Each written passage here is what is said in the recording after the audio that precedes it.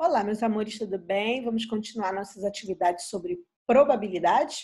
Então vamos lá, continuação do exercício, dos exercícios de aplicação, página 343. Fizemos a 342, vamos continuar agora a partir da 343, livro 6, ok? Vamos lá.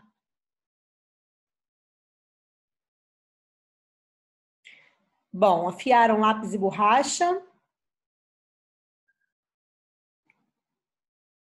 afiaram lápis e borracha. É...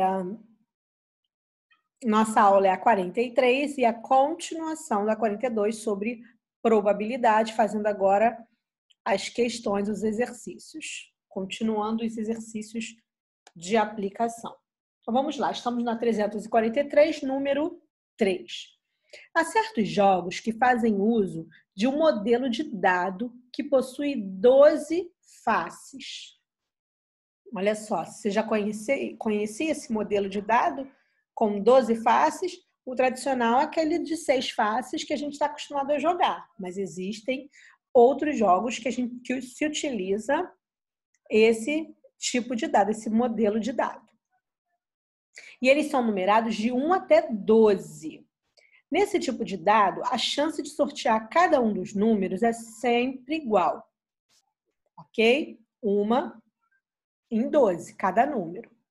De acordo com essa ideia, complete o quadro seguindo o modelo dado. Então, vamos lá. O que se pretende sortear? Está tudo aqui. E a, a chance, a probabilidade de sortear o que se pretende, qual é? Do número 7, quantos números 7 você tem nesse dado? Um só.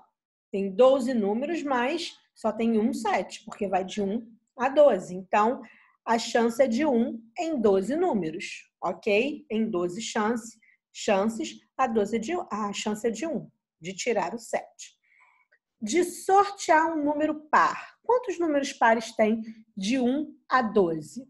2, 4, 6, 8, 10 e 12. Então, tem seis números pares. A chance de você tirar o um número par, sortear um número par, é de 6 em 12 chances, em 12 números. Agora, um número maior que 3. Quais são os números maiores que 3 que tem aí? Vamos ver? 4, 5, 6, 7, 8, 9, 10, 11, 12. Qual é a chance? 9 em 12. Um número menor que 11. Quantos números tem menores que 11 aí?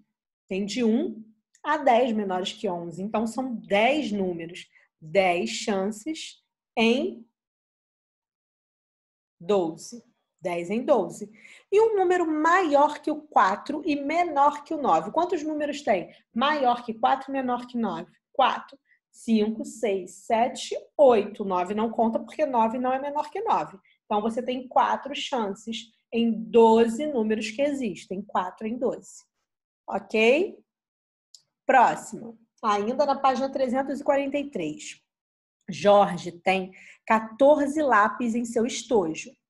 Todos estão novos e têm o mesmo tamanho.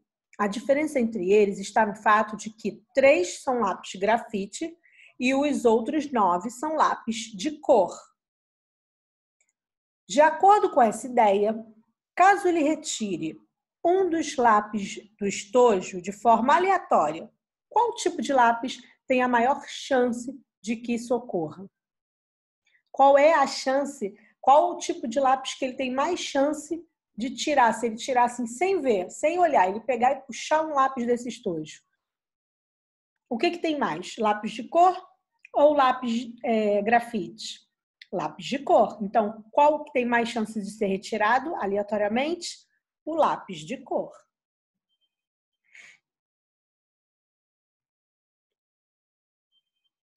Página 344.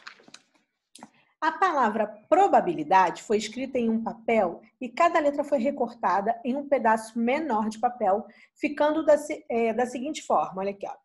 Pro, ba, bi, li, da, de. Ficou uma parte em cima, uma parte embaixo e as letrinhas bem separadinhas.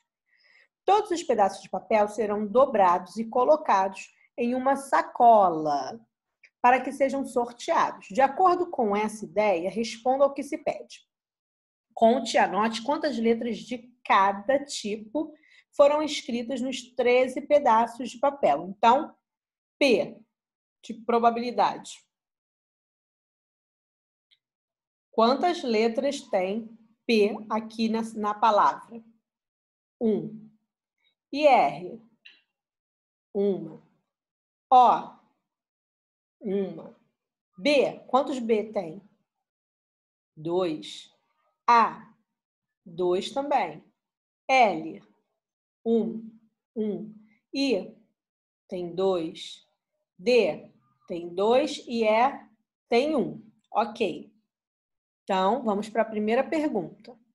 Preencha um quadro e vamos responder a letra B agora. Quais letras têm maior probabilidade de serem sorteadas? As letras que têm duas repetidas, né? Tem mais chance daquela, do que aquelas que têm só uma escrita. Então, quais são essas letras? Vamos ver? B, A, I, D. Confere? Vamos lá conferir. B, A, I e D. Isso aí.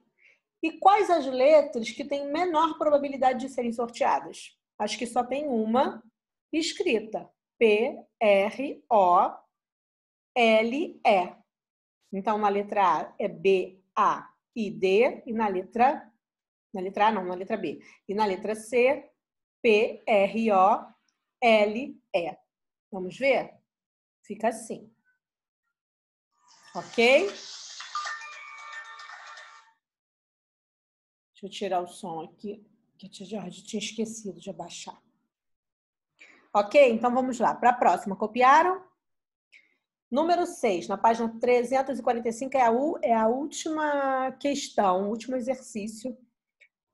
Aliás, a última questão dos exercícios de aplicação. As bolas mostradas na figura serão colocadas em uma caixa fechada para serem sorteadas. Olha aqui, ó. Todas são iguais em tamanho e massa, exceto na cor. Observando atentamente as cores indicadas, responda ao que se pede. Então, a gente tem aqui duas bolas verdes, três bolas vermelhas, uma amarela e duas azuis, ok? Se eu estiver tampando aí, olha, o, olha no livrinho, tá? De vocês. Então, vamos lá. Quais cores de bola têm a mesma chance de serem sorteadas. Quais as cores que têm a mesma chance? O que, que você acha? Verde e azul, porque as duas têm a mesma quantidade, ó, verde e azul.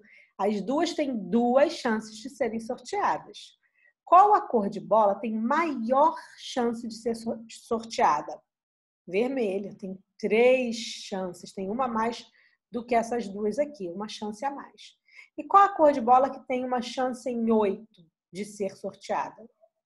A gente tem um, dois, três, quatro, cinco, seis, sete, oito. Qual que tem uma chance só em oito de ser sorteada?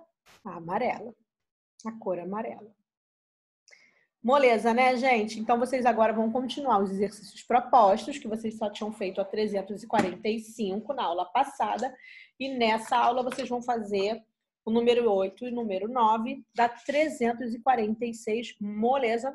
Vocês vão tirar de letra. Um beijo e bom trabalho para vocês, tá? Até a próxima.